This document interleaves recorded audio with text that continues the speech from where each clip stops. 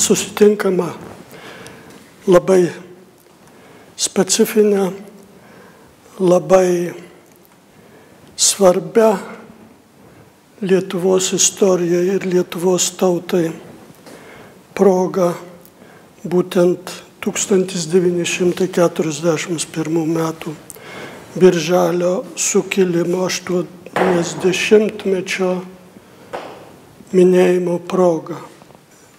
Brandų gyvenimą praleidęs Lenkijoje, čia dirbdamas mokslinį darbą, dabar perėjęs į savo tikrosios dvasinės tėvynės lauką. Neįsivaizdavau prieš daugelį metų, kad po 30 Lietuvos nepriklausomos valstybės metų reikės mums viduje aiškintis, kodėl sukilome ir ar verta tą sukilimą minėti. O visa tai yra mūsų nebrandumo, politinio, tautinio spaudimo iš išorės rezultatas. Ar turėjome teisę sukilti dėl savo tautos ir valstybės laisvės prieš metus okupuotos Sovietų sąjungos. Okupuotos ir bandomos paslėpti po skreiste, atseit mes savanoriškai į Tarybų sąjungą, Sovietų sąjungą įstojome. Nežinia kieno valia, dalyvaujant 240 tūkstančių sovietinės armijos, kuri buvo pasiruošus, dalis įžengus, o kita pasiruošus smogti, jeigu mes pasipriešintumėm. Ir neužteko politinės valios pasiruošusiai kariuomeniai pasipriešinti.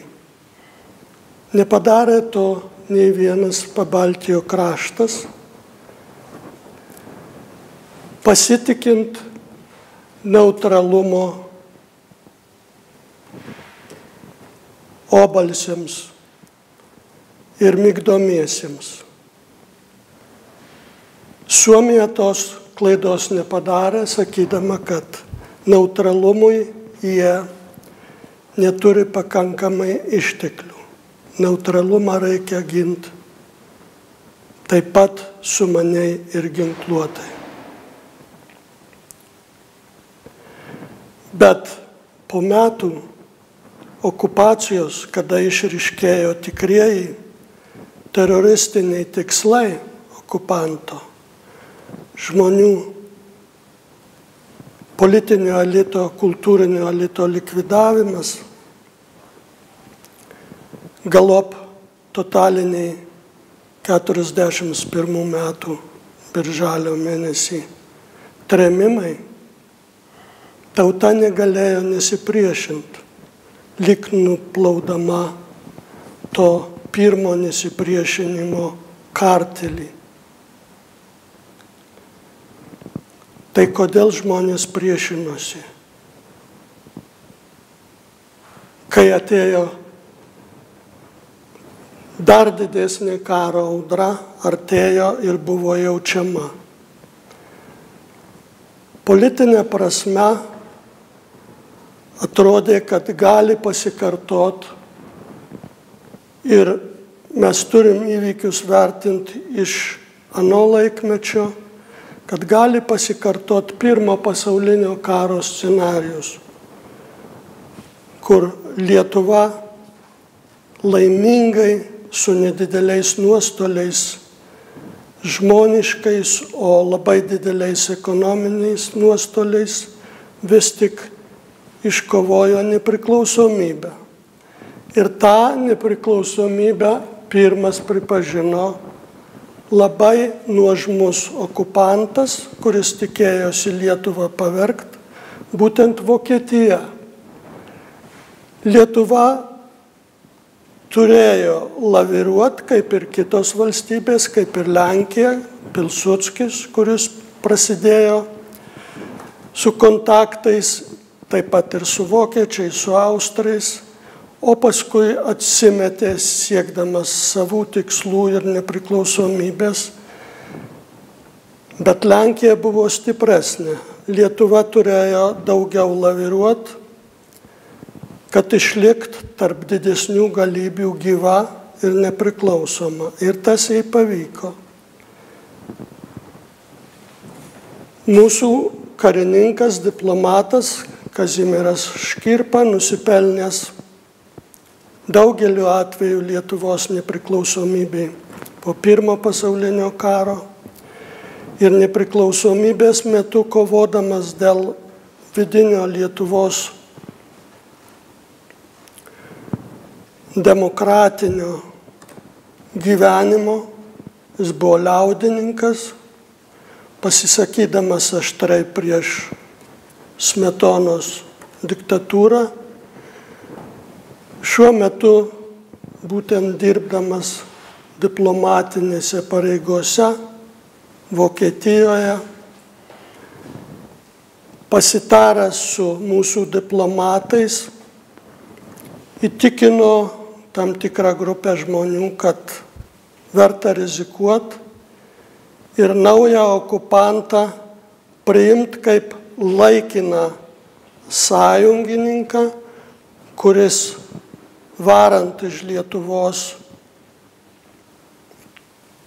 raudonąjį okupantą galbūt leis šiokią ar kitokią formą atstatyti Lietuvos nepriklausomybę. Bet įvykiai prieš sukilminį neprasidėjo Berlyne. Ir mintis kilo tik po to, kai krašte aiškiai iškilo pasipriešinimo žydiniai. Ta konstatuoja ir sovietiniai dokumentai. Jau nuo 40 metų Liepos mėnesį buvo aišku, kad lietuviai stengsis visom išgalim gaivališkai priešintis. Tada reikėjo tą gaivališkumą, kuris nieko gero nežadėjo, kažkaip suvaldyti ir duoti jam struktūrinį foną. Ir tas buvo padaryta Berlyne, pulkininko ir diplomato Kazimiero Škirpos aplinkoje. Bet jis nedarė to pats savavališkai, gaivališkai. Bent du kartus turime to protokolus, konsultavosi su Lietuvos diplomatais dar veikiančiais, nepaisant sovietinės okupacijos. Būrė žmonės patikimus, politiškai įvairių grupuočių, kad apjungti visą tautą ir sugalvojo pasipriešinimui tokį judėjimą Lietuvos aktyvistų frontą.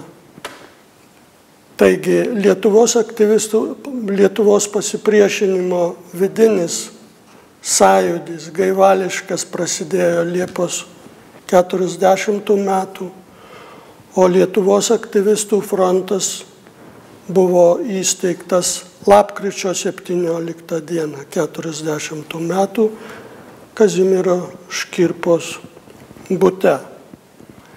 Taigi vėl, jeigu žiūrėsim istoriškai, tai škirpa atliepė į tą vidinį Lietuvos piliečių judėjimą, pasipriešinimą ir jį bandė kanalizuoti.